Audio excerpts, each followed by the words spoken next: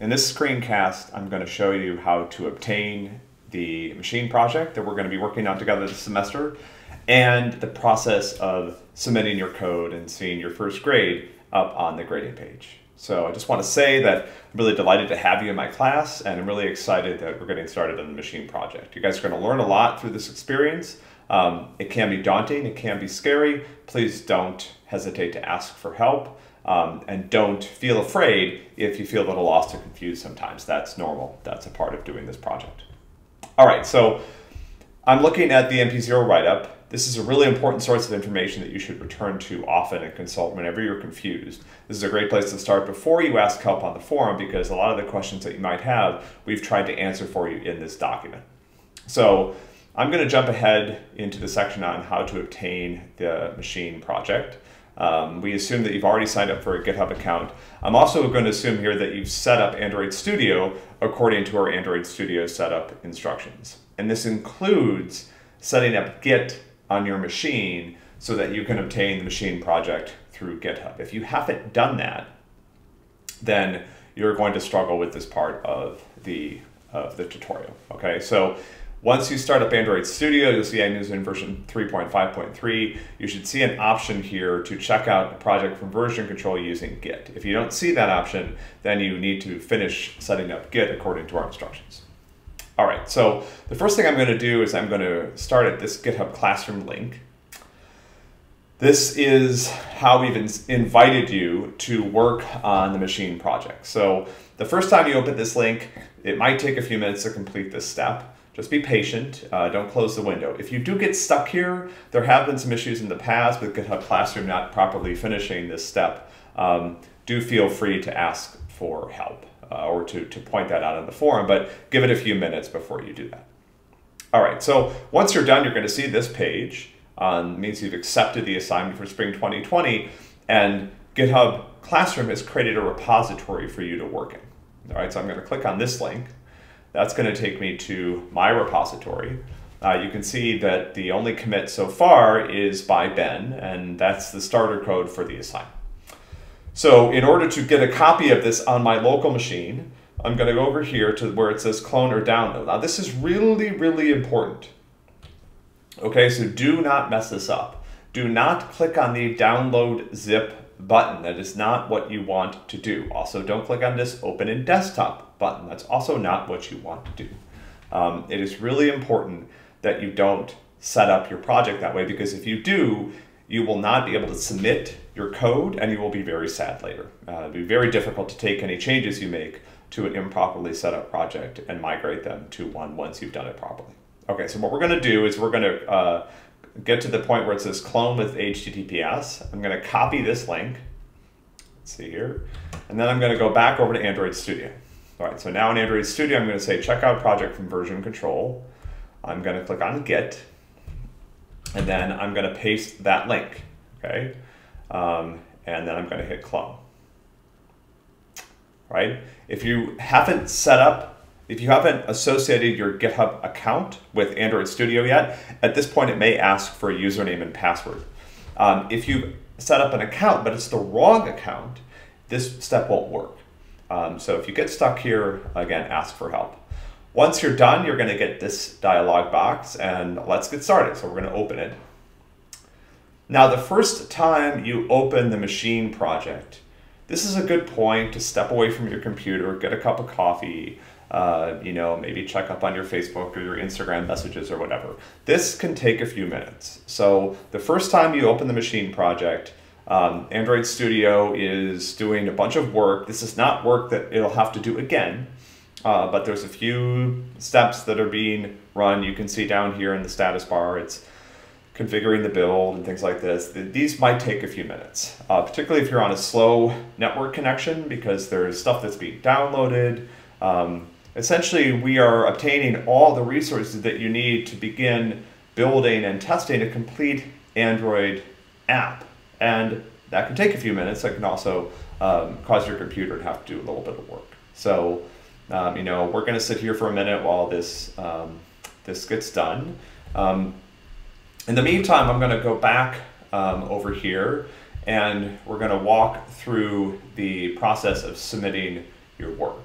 And there's a couple of steps here, um, but we're going to go through them together. There's also a document that will be available on the MP page over here once we put it up, which will also go through each step in this process. But um, it's not that complicated, and you'll get used to it. Um, our goal is to get to the point where we have a uh, one of our submissions visible at this site. So when you go to your grading page, um, when you go over here to the MPs tab, what you're going to see is that it's going to be empty because you haven't submitted uh, anything, uh, any MPs yet. So we're going to get to the point where we've done that. Okay. okay. Um, I don't know why this is here, but this is probably okay. Um, all right. So let's go ahead and walk through the steps to get started. Now, this is one of the most important steps to submitting um, your work. If you don't follow this step properly, you're not going to see anything on the grading page and you're going to be very confused. So over here in Android Studio, and you only have to do this once, which is great. Once you set this up properly, it's just going to work throughout the rest of the semester. But the first time you submit, you go over here and you click on the button that will say Android when you launch, when you open the MP. And you're going to go to this project view. Then in the project view, we're going to open this and then we're going to click on email.txt. In this file, all you need to do is type your email address. I feel like I'm the host of Celebrity Jeopardy on Saturday Night Live. All you have to do is type your Illinois email address. That's it. Uh, close the file. Okay, and you're done. All you have to do is do that once. You never have to do that again. Once you've done that, we know that it's you submitting the MP using this particular GitHub account. So once you've entered your email in there, just leave it alone. You'll never have to use that again. Now let's go back. So if you don't enter your email address, let's try going over here. If you have our plugin installed, you'll see the shield. Um, if you click on this, what will happen, it'll still run the auto grade. And this is the local autograder. So if you run this, this is giving you an estimate of what your score is. It's not actually giving you an official score. So if I go back to the MP grades page, I don't see anything. I haven't submitted yet. All right, so it's saying that I need to enter my at Illinois email address into email.txt, okay? And again, you have to get this right. If you enter somebody else's email address, if you mistype your email address, you will not see any grades on the grading page. So I'm gonna put in my email address here. Now when I run the auto grader, and the first time you run our auto grader, it's also gonna maybe a little bit slow. It's doing some work. Uh, it's downloading some things and stuff like that. So, um, and what this is doing is it's actually essentially running the same process that we're gonna run when we submit, when you submit your uh, work for official grading. The only difference is it's doing it on your machine and it's producing an estimate of your grade. So you'll see here that there are some problems that we need to address, check style errors. Uh, this is one of the first things that you can do to get started getting some points on the project. Um, so it's going to run check style, it's going to run the test suites, and when it's done, and again, this is going to take a minute, it'll be, uh, might be faster on subsequent runs. When it's done, it's going to print off my current grade on the machine project. All right? And Again, I just want to emphasize this is not submitting your work. It's not, uh, this does not constitute your grade for the MP. This is a tool that you can use as you're working on the MP whenever you want to estimate your score. But your score is not official till you see it on our grading page. So you'll see here that I have not done very well on the MP so far, as I haven't gotten any points yet. That's okay. Uh, you guys will start getting points on the MP uh, soon enough. But let's submit this to make sure that we know how to do that. Okay, so when I'm ready, uh, anytime I want to, I can submit my MP for official grading. So here's how to do that. I go up here and there's two ways to start this process. I can either use this little green checkbox here, or if I go up to the VCS menu and choose Git and go to uh, commit. Let's see here, where is that? Right here. Okay, sorry, it's up here, commit. So either way, I'm gonna do this, okay? I'm going to hit git, commit, and then I'm going to write a message. So here I'm going to say added email.txt. And git commit messages are really important um, ways of helping you remember what you changed at a particular point in the project. So until this point, all I've done is added my email to email.txt. That's what I'm going to put down. Now here's a very, another very common mistake. if you just hit commit down here, then nothing is going to show up on the grading page. Okay, and I'll show you this in a second. When, with Git, when you commit your work, it's like saving it locally on your computer. You're not actually sending anything to GitHub, and so we don't know that you've actually done any work. So in order to submit your work, you have to push it. Um, and Android Studio allows you to combine these into one operation, but you have to click this little drop-down box. So I'm going to say commit and push. That's going to both save my work and it's going to send those changes back to GitHub so that we know that you did it. Once you do that, we'll start grading your work immediately, and I'm going to show you what happens. Okay, so this is going to give me a little dialog box. I'm going to say push, okay? And then it's going to do some work and get, uh, get started down here. And now as soon as you push, okay, if you've done things correctly, if your email.txt is correct, you will see a message like this on the grading page.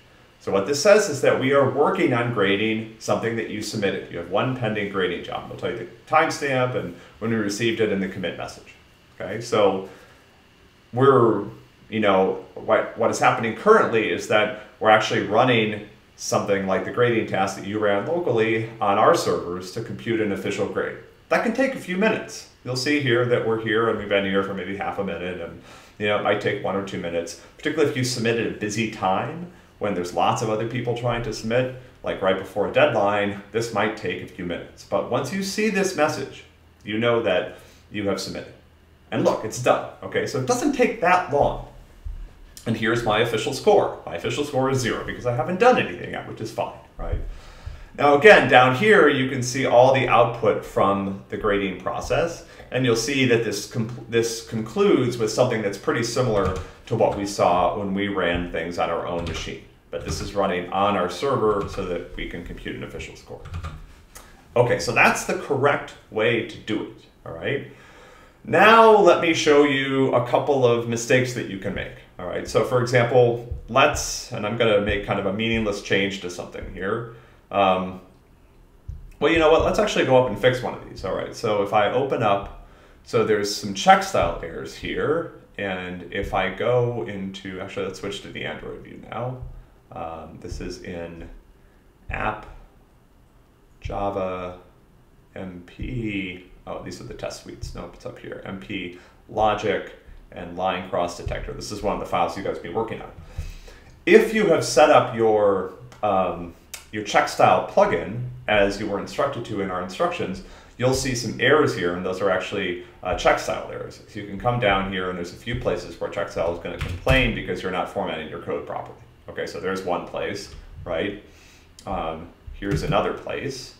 Let's see here. Um, and as I'm, as I'm doing this, if I save the file, uh, oh, there's another problem here.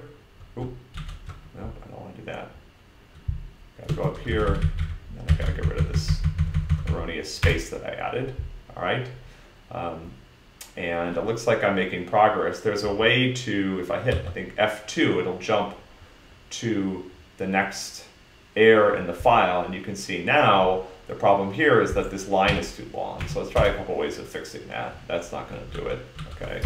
Instead, we're going to have to put an extra line there, and we'll do the same thing here. Okay, great. So now you'll see I fixed all of the check style errors, and there are no other problems in here. So let's run the grader again and see if we've, if we've got our points. We got the 10 points that uh, we're going to assign for not having any check style errors on this particular MP. For some reason, line cross detector is still uh, shown here as a problem. I think that's just the check style plugin not working perfectly. Let's open it up again and see what happens. Yep, there we go. So sometimes I've noticed that the check style plugin doesn't immediately see changes to the file. So if you make some changes and you think that everything is good, but you see a red squiggly over here, just close the file and reopen it. Okay, so now we're rerunning our grading task. It's taking a minute again, as it usually does. But what you'll see here is that there's not going to be any check style errors. Um, and then we're going to go ahead and commit our work.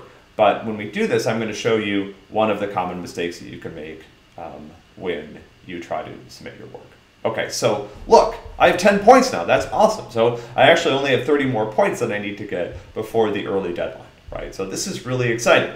Now you'll see down here, as soon as you get points on the MP, you need to commit your work and submit it. We want you to do that right away so that you get the best score at the end of the day. All right, so uh, now I'm gonna go in here and I'm gonna say fixed check style errors. And let me show you what can happen here. So I hit commit and I'm done, okay? Now I go over here and I'm sitting here on the grading page waiting for my submission to go through because I have 10 points now and I'm pretty pumped about that, as you should be. Um, but I don't see anything. I don't see that message that says I have a pending uh, submission. And the reason for this is because you didn't push. Now look, I just want to emphasize this. We have put a lot of work into this system. And the reason is we want you to know that you've done things properly. You might have heard from other people in other classes that their submissions don't get graded immediately, but here in 125, yours do. So if you don't see that message right here, it means you made a mistake.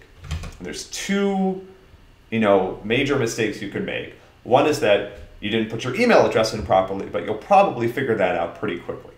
The second one is you forgot to push. So there, what happened is I committed and I forgot to push. So I don't see my latest grade here, and I don't see any indication that there's a submission that's being uh, graded. So if I want to fix that, what I need to do, and this is a little tricky, I need to go to the VCS and open up the Git menu. And now I need to go to push. And so what you'll see here is that there's a commit that I didn't push yet, right? This is the one where I fixed the check style errors. And so now I'm going to head and push that. And you'll see as soon as I do that, I see this message. So now I've got a pending grade job, okay? And again, about a minute's gonna go by, I'm gonna come back here and I'm gonna see that my best submission for MP0 is 10, which is really exciting. A couple other notes here. So you do not have to refresh this page. Please don't. It's actually kind of hard on our backend servers. So uh, you just keep this page open. You don't have to refresh the tab. It'll automatically refresh every time it has some new information.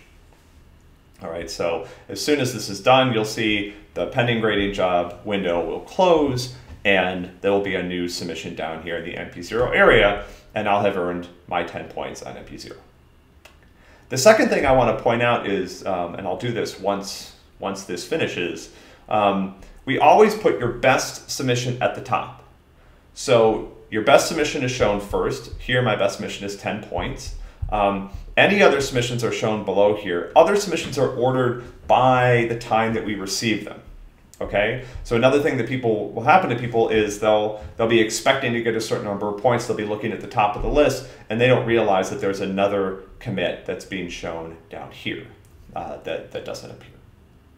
All right, so that's an introduction to how to commit, uh, how to obtain the MP, how to commit your work. Um, you know, when you're done, uh, obviously you can close down Android Studio anytime you want, reopen it, um, and that's how things work. So again, really excited to have you in the class. Uh, welcome to MP0. I wish you the best of luck on the MP. Please come to office hours or ask on the forum if you need help. Uh, we are really all here in the core staff committed to ensuring that you succeed on the MP, and we're really excited to help you with it. Good luck.